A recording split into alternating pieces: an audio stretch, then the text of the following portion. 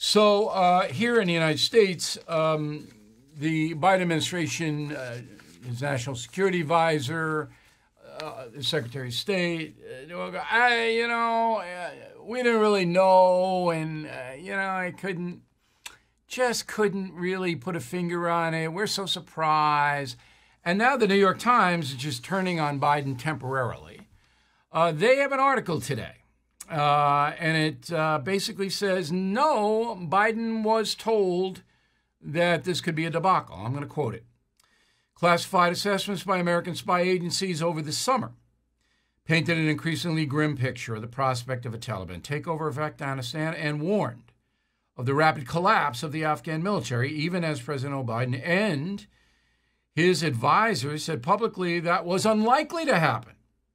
According to current and former American government officials, anonymous sources, that's what the New York Times does. By July, many intelligence reports grew more pessimistic, questioning whether any Afghan security forces would muster serious resistance and whether the government could hold on to Kabul, the capital. President Biden said on July 8th the Afghan government was unlikely to fall, that there would be no chaotic evacuations of Americans similar to the end of the Vietnam War. So that's the New York Times. Now, the importance of that, if it's true, and again, it's anonymous source, is that if Biden were told, if Biden was told himself, and this has got to be in classified information, if he's told that this government's going to collapse and then he lied to the American people, that's impeachable. And it's a simple, it's a simple play. Now there are going to be congressional hearings under oath. That's the only question, by the way. That's it. We know Biden's incompetent. We uh, know he's weak. But if he lied to us in July when his Nat security people were saying, going to go, impeachable. Now, will he be impeached? No. Not now, because the House is controlled by the Democrats. But in the midterms, if the Republicans take over the House and Senate, which I believe they will, then it could be. See? This is ultra serious. What I just told you is the crux of the matter.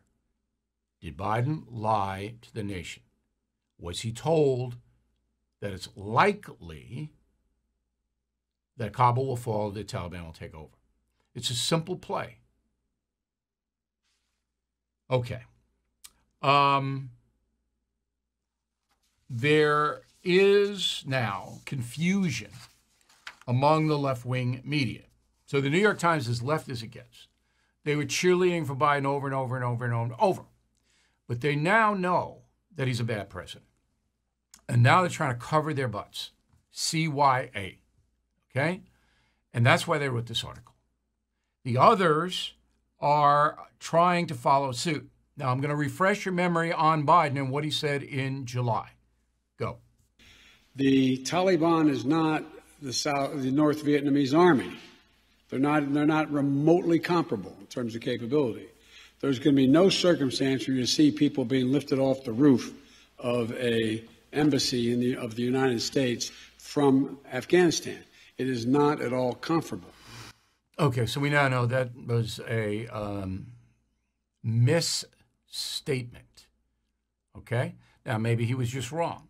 But again, if he were told, then he's in trouble. Major trouble. So, what does CNN do?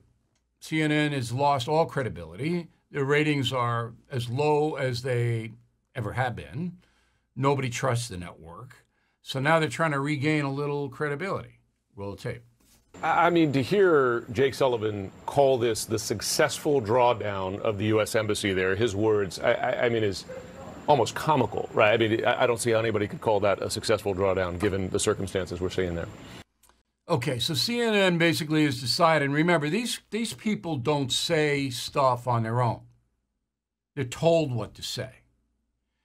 Um, so they've decided, well, we can't support Biden here in this one. We ignored the border, another humanitarian catastrophe. We ignored that. Can't ignore this.